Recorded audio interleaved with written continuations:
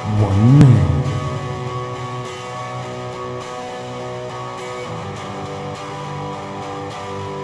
One mission.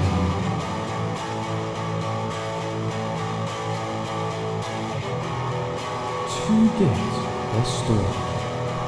Very interesting. It's almost like I'm trying to get a story out of these people. Coming soon to a.